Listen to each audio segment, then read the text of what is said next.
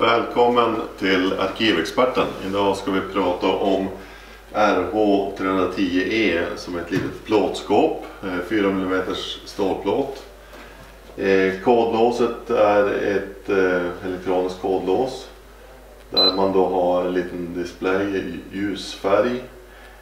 Man slår sin kod och öppnar skåpet. I skåpet finns det en LED-belysning som ljus, ljusar upp eh, miljön här.